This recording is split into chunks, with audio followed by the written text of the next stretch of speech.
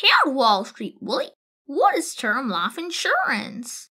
Term life insurance is a type of life insurance policy that guarantees payments of a pre agreed amount, called the death benefit, to the beneficiary stated in the policy if the policyholder dies within a certain period of time, called the term. This is in exchange for periodic payments by the policyholder, called a premium. Usually, the term is 10 to 30 years. If the policyholder is alive when the term ends, they can either renew the policy, convert it to another type of life insurance, or let it terminate, in which case the protection doesn't continue. How expansive is term life insurance? How is the insurance premium decided? The cost of term life insurance, or the premium, can vary from under $50 to over $100 per month.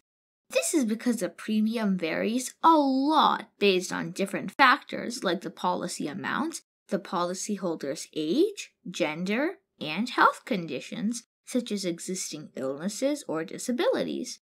For example, Angie, a healthy 30 year old woman, will pay much lower premiums than Sam, a 50 year old man with diabetes, even if the death benefit is the same. If the term life insurance is renewed, the premiums stay the same, right?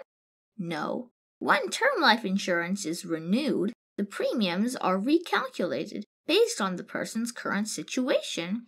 So, if Tom bought a term life insurance policy when he was 40 with no health problems and renewed it when he turned 60 but had been diagnosed with a heart condition, he would pay higher premiums after the renewal of the policy.